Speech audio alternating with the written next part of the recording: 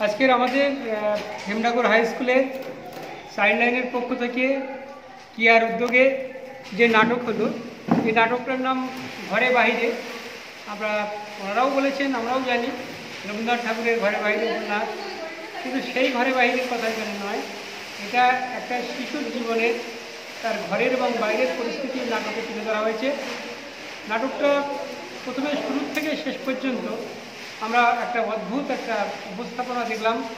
সুন্দর একটা তার অভিনয় আঙ্গিক এবং তার বিষয়বস্তু পরিচালনা চিন্তা ভাবনা এটা আমরা দেখে খুব মুগ্ধ হয়েছি এবং এরকম ধরনের নাটক যদি এরপরে আমাদের কাছে আনা হয়, তবে আমরা আমাদের পক্ষ থেকে বারবারই আমরা স্বাগত জানাব। আমরা আবার আশা করব এই সংস্থাকে নিমন্ত্রণ রাখব যে আবার তারা আসুন এসে আবার এরকম এরকম নাটক দিয়ে আমাদের ছাত্রছাত্রীদের তারা সমৃদ্ধ করুন, সমাজ সচেতন করুন।